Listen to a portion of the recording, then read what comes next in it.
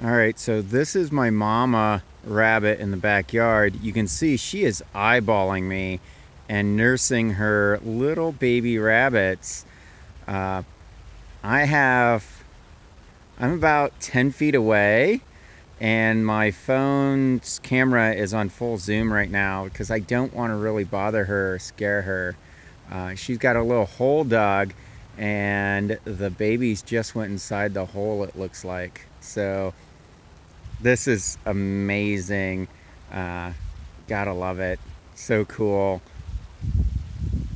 By the way, I've been out here fixing the fence that's behind me now for about 10 15 minutes and she has been here the whole time protecting those little ones